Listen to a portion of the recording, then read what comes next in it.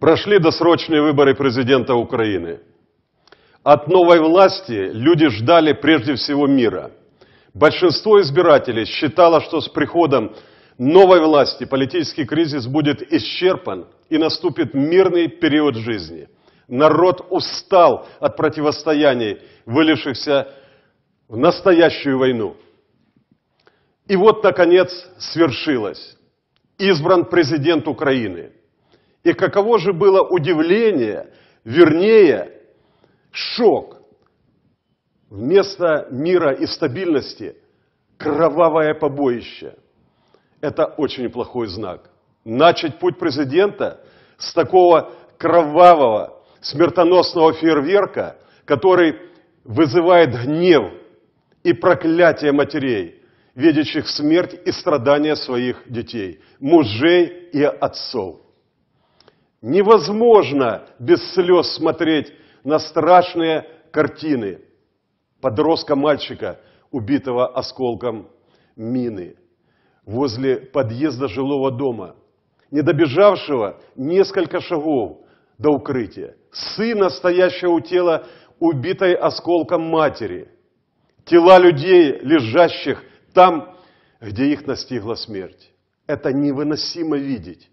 Те смерти, ту ненависть, которая разжигается еще недавно совершенно мирной стране. У меня еще свежи в памяти многочисленные переговоры о мирном урегулировании политического конфликта в Украине. Эти переговоры проводились с лидерами оппозиции, с представителями европейских институтов, с Соединенными Штатами Америки, ООН, НАТО. Тогда, когда радикалы живьем сжигали бойцов Беркута, боевыми патронами убивали милиционеров с 18 по 20 февраля, европейцы не уставали предупреждать о недопустимости насилия со стороны власти.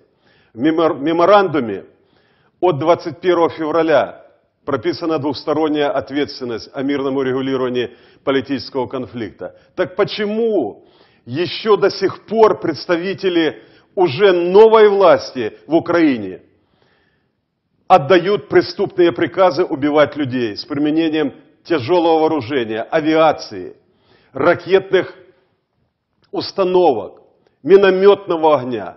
Украинцы гибнут с одобрения некоторых руководителей демократических стран, которые вместо осуждения насилия начали вести переговоры о поставках оружия.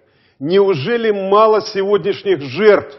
Надо, чтобы в Украине продолжали гибнуть и страдать тысячи людей. Остановитесь!